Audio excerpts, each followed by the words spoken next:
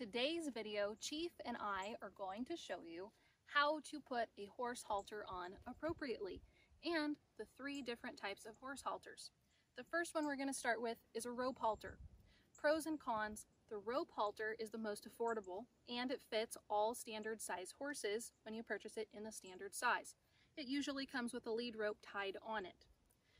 In order to see how to put it on, I'm going to get up close and show you how the knot works first so you can see it up close. A con of this type of halter is that it can be more difficult than others to put on initially until you learn how to tie this knot. It goes the tail and the eye loop. Tail goes through the top of the eye loop, over the top. Pull it down, comes under the eye loop. This will be on the left side of Chief's face, down by his ear a bit. Tail goes under the eye loop, over the top like this and through the new little loop that we made and then pull it down tight okay?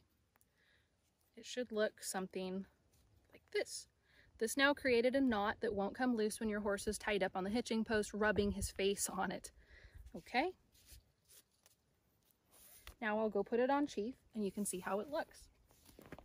Whenever you're putting a halter on any horse you want to put the lead rope, this is the lead rope, it's like a horse leash, over the top of the horse's neck first. Always keep your feet out of the way of your horse's feet if you were to spook at something. Maybe a deer jumped out of the brush and spooked my horse. I don't want to be in the way of where he's going with his feet. Now that you have the lead rope over the top of your horse's neck, now you have a good little handle to stop your horse if he were to walk off. Maybe he doesn't feel like working today. Or you might even have a spunky young horse that might like to goof off and play around when you first put a halter on. Okay, the rope halter, here's the nose piece, goes over the nose, just like that. Put the tail, flip it over your horse's ears. Try to make sure it's not twisted over there. Remember, tail goes over the top through the eye. Pull this down, where the halter nose piece is appropriate on your horse's face. The tail goes under the eye. It makes this new loop right here. The tail goes over the top of the eye and through, down through the new loop we made and pull it tight. And this creates a knot that won't come loose when your horse is tied up. Now, one thing that I would like to mention with a rope halter they can also be used for young horses in training them to respect a halter. So it has these little knots right here. These knots correlate with pressure points on your horse's face.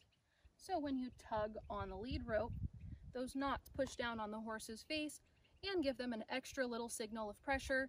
Hey, you need to respect the halter, respect my space, and back off. So they can be used well for a new horse that might be in training. Now, something that I see all the time really irritates me because it's not nice, it's disrespectful to the horse, and can create an unsafe situation for the horse owner. I see halters like this all the time in videos. I don't know what this is, but this is not how you put a halter on a horse. I don't care what type of halter you're using. The horse has a nose bone that ends about here. And the very bottom of the horse's nose bone, much like on a cow skull, if you've ever noticed that, is very thin down here at the bottom.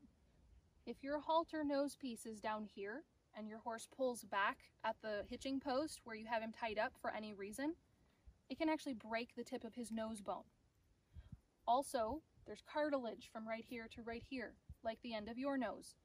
If this halter is down here in the cartilage and you go to pull back and say, hey, it's time for you to listen, or he pulled back at the hitching post like we discussed just a second ago, that can actually damage the cartilage on the end of your horse's nose. So unless you want to create an unsafe situation and potentially damage your horse, which then could also potentially cause harm to you, depending on where you're standing in this scenario, do not put your halter down here. This is not appropriate. This is lazy. This is lazy horsemanship, and it's very unsafe. Keep your halter noseband up here in the middle of the horse's nose where it goes. Also, I have seen halters up here This is also not nice for your horse, especially with a rope halter. See how this knot is up here by his eye? This is a sensitive spot on the horse's face, and it's not made to have things signaling and pushing into him right here. So if my halter's way up here, and I go to pull back on my halter and say, hey chief, listen, don't walk on top of me, or whatever's going on, then this can actually create him to rear up and pull back because it hurts right here when you push on it. Instead, keep the halter where it goes. This knot then falls in this little divot right here, right below his cheekbone right here, and it's not as sensitive. It is a pressure point, but not near as sensitive as up here by the eye.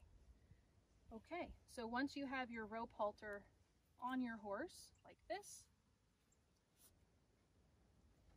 it's now time for you to take your lead rope, fold it over in little folds, and we can lead our horse down the road. Next type of halter is a buckle halter. Now this is probably the most common type of halter that you can put on your horse.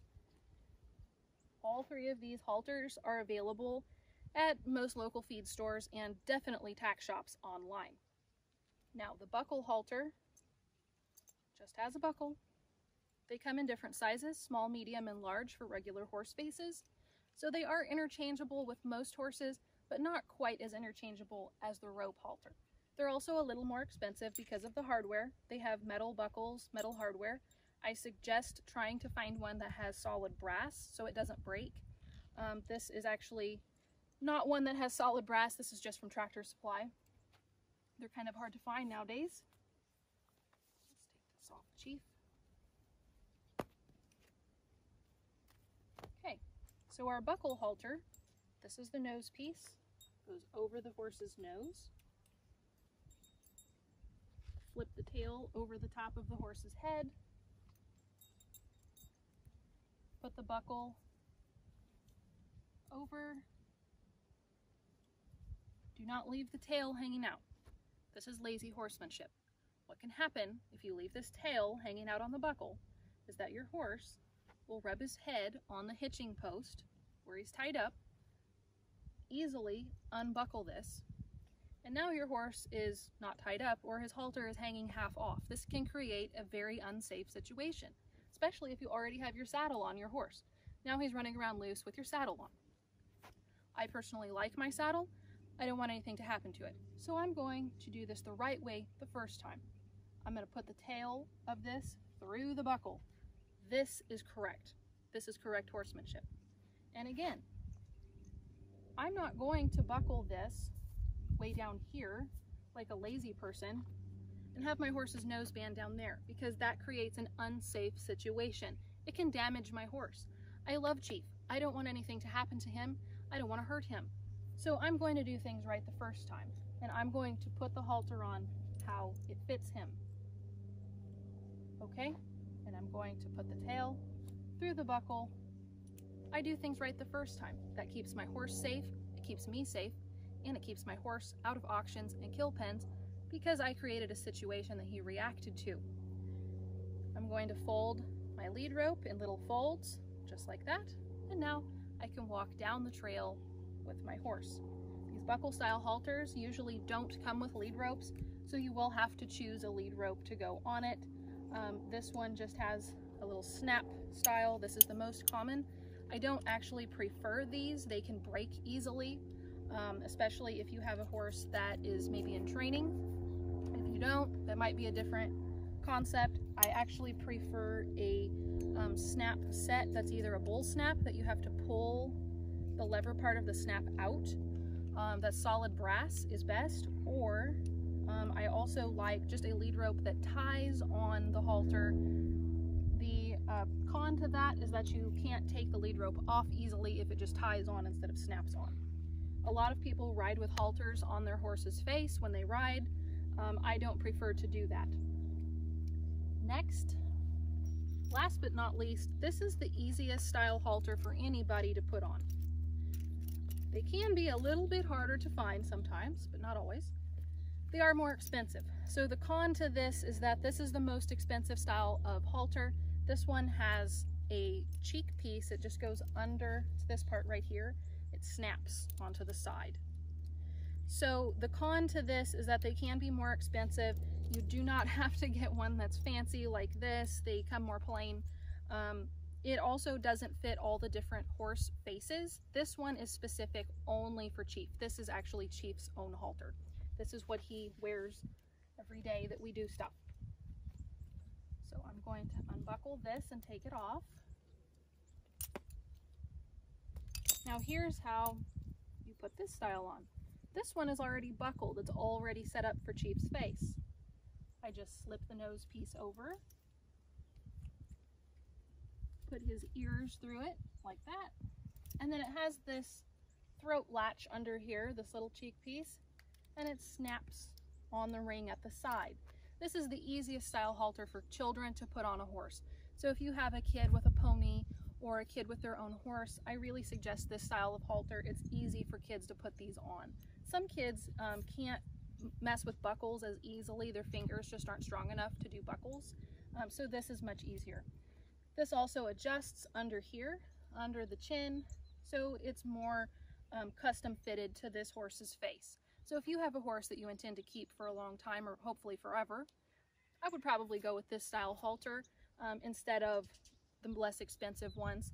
This just feels better for your horse. I like this wider nose band. It's more comfortable for them. Okay. And then with this lead rope, I'm to fold it in little folds or one little fold on this one and I'm ready to lead my horse off. Now remember when you're putting a halter on, no matter what style of halter it is, always start by putting the lead rope over the horse's neck so you have a nice little handle to grab your horse if he were to walk off. Okay? And then when you have the halter on, put your lead rope in little folds or one little fold and we're ready to walk off with our horse.